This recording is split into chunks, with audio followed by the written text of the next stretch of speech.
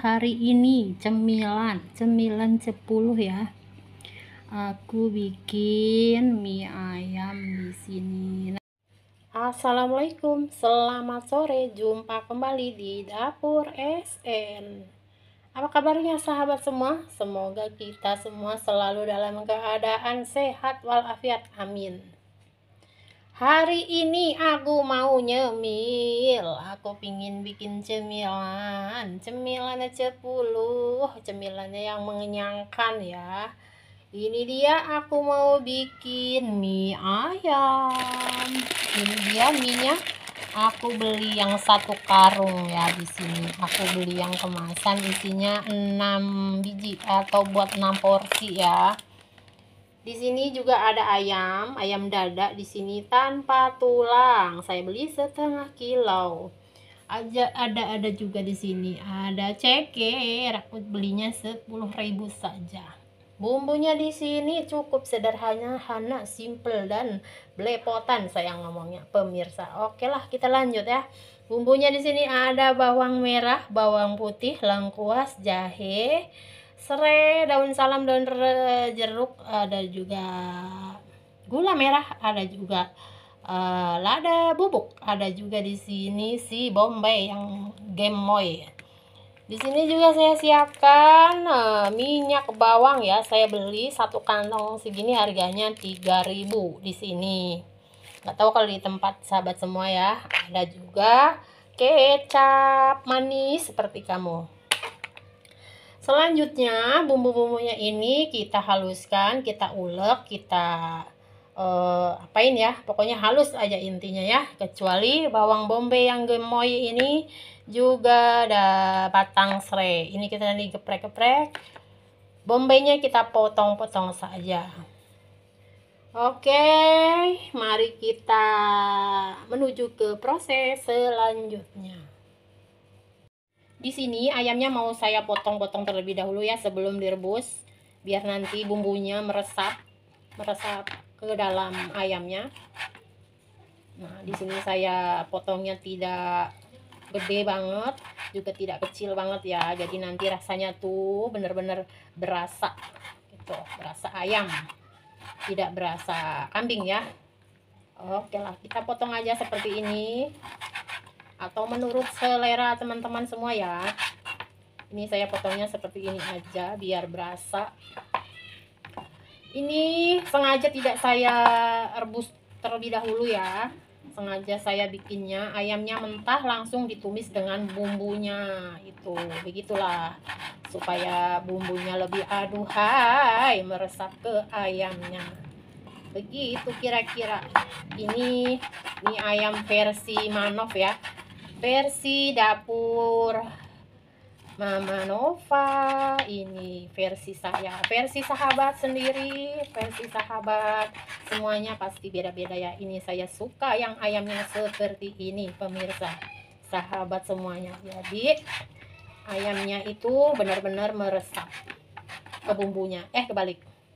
Bumbunya itu benar-benar meresap ke ayamnya. Seperti itu saya sengaja motongnya ini tidak terlalu kecil. Supaya apa? Supaya digigit itu ada tendangannya. Gitu. Biar ayamnya itu nendang gitu biar berasa gitu ya. Biar berasa saat digigit ayamnya mengadakan perlawanan gitu. Pastinya kalau ada perlawanan tuh kayak kayak kayak mendapat kepuasan tersendiri ya. Kita makan ayam mendapat perlawanan dari mulutnya. Pas ngunyah-ngunyah itu loh. Waduh pastinya kita akan puas makannya. Dan besoknya pingin lagi dan lagi gitu. Ini saya bikin sudah kesekian kalinya ya tapi belum pernah saya bikin videonya karena bikinnya saya sambil lari-lari. Jadi sambil lari-lari tahu-tahu mie ayamnya jadi gitu kali ini saya ingin bikin video karena stok. Buat stok ya ini ya buat stok uh, resep masakan saya supaya nambah banyak begitu. Ini kenapa hostnya ngomong melulu ya? Supaya tidak terasa lama begitu. Biar tidak terasa lama motongnya walaupun lama jadi tidak terasa lama. Selesai. Selanjutnya mari kita masak selanjutnya kita tumis bawang merah. Bawang merahnya saya tumis ya. Karena ayamnya supaya awet bisa sampai besok. Kalau tidak habis hari ini makanya bawang merahnya saya tumis. Tujuannya supaya tidak cepat asam ya. Ayamnya supaya tidak cepat asam. Jadi bawang merahnya saya tumis terlebih dahulu. Tidak saya haluskan bareng sama bumbu yang lain ya.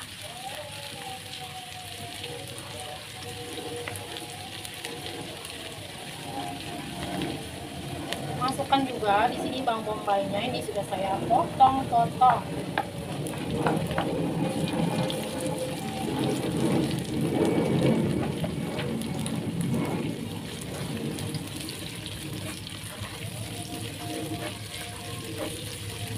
ini sudah harum sekali. Harum sekali.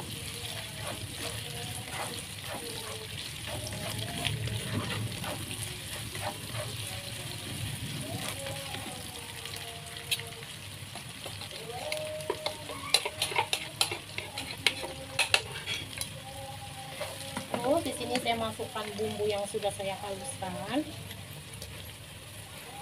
ini bumbunya sudah saya haluskan.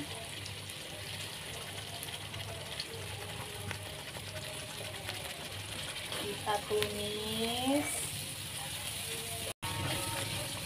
Tadi ada yang lupa ke tidak tersebut yaitu kemiri. Kemiri di sini saya pakai 5 butir kemiri ya. Daun jeruk kita masukkan kita robek-robek biar wanginya keluar ya daun salam daun serai.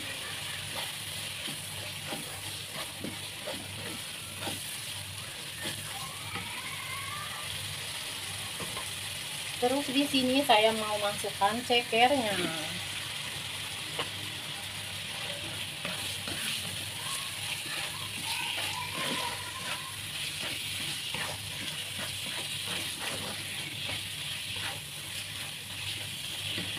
setelah itu saya masukkan juga ayamnya. Ya saya masukkan juga ayamnya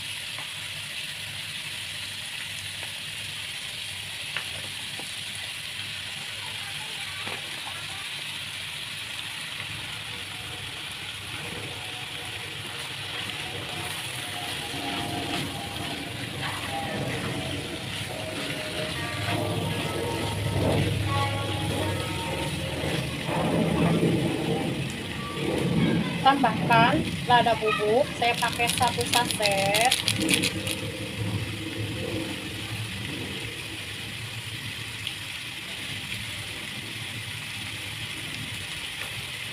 Kaldu bubuk rasa ayam saya juga pakai satu saset.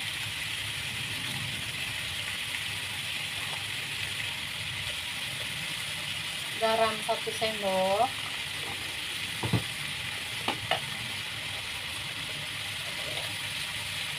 penyedap rasa pakai setengah sendok. Kita masak kita aduk terlebih dahulu supaya bumbunya menyampur.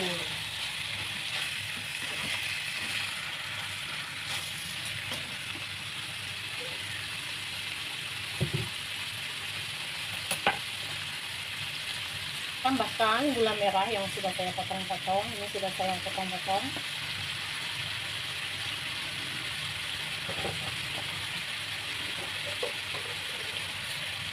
gula pasir juga ya. Saya pakai 2 sendok.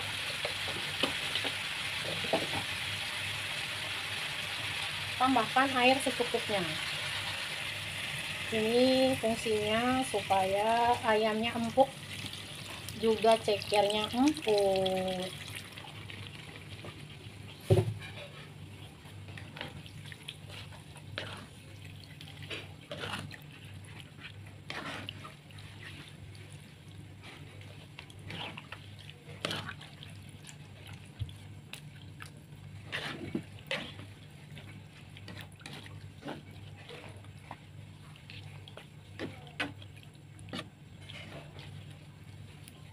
kita biarkan sampai mendidih ya baru kita masukkan kecapnya.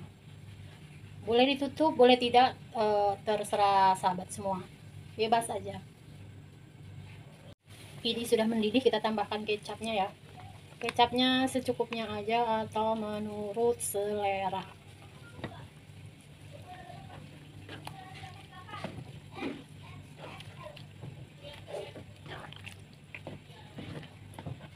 menurut selera saja. Kita biarkan sampai cekernya matang dan ayamnya juga matang ya. Biarkan sampai empuk. Kita tunggu sambil bebenah. Ini airnya sudah berkurang ya sudah menyusut dan ayamnya masih tetap posisinya masih tetap bohai masih tetap utuh kita cicip dulu apa rasanya kurang apa. Hmm, mantap pas banget. Ini sudah matang ya boleh kita matikan apinya. Kita matikan apinya kita siapkan minyak. Kita masak air buat ngerebus minyak ya masak minyak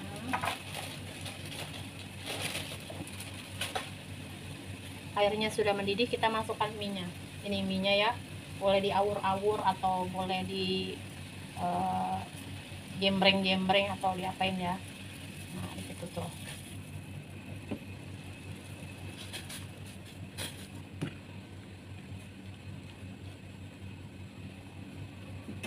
sambil nunggu mendidih minyak matang kita siapkan bumbunya.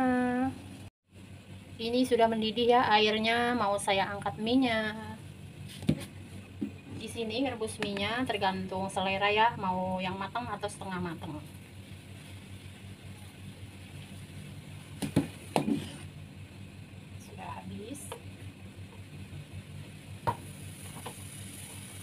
Aku mau siapkan bumbunya ya di sini saya pakai minyak bawang. Saya pakai satu sendok saja. Juga saya pakai kecap asin. Kecap asinnya sedikit saja ya. Kurang lebih satu atau dua sendok. Yang mau pakai kaldu boleh yang tidak mau pakai kaldu juga tidak. Ini bumbunya sudah saya campur. Saya di sini tidak menggunakan kaldu ya. Yang mau pakai kaldu juga tidak apa terus masukkan minyak minyak yang sudah direbus ya. Kita masukkan minyak yang sudah direbus. Kita campur dulu ini supaya uh, bumbunya mencampur ya.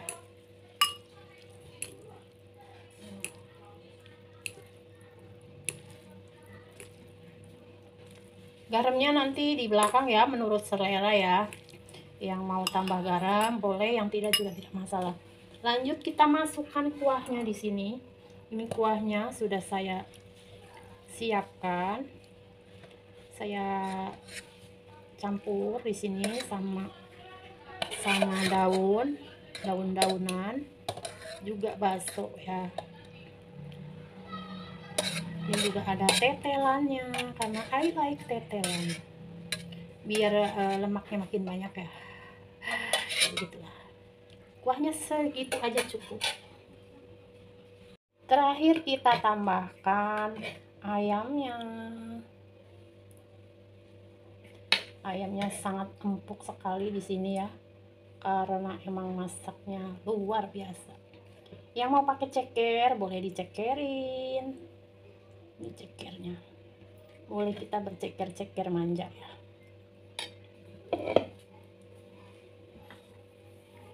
yang suka pakai sambal kita kasih sambal ya. Ini siap untuk dihidangkan. Ini dia masakku hari ini cemilan. Cemilan mie ayam. Mie ayam versi dapur SN ya. Semoga bermanfaat buat sahabat semuanya jangan lupa like, comment, share juga subscribe yang baru menemukan channel saya. Sukses selalu untuk kita semuanya. Terima kasih. Assalamualaikum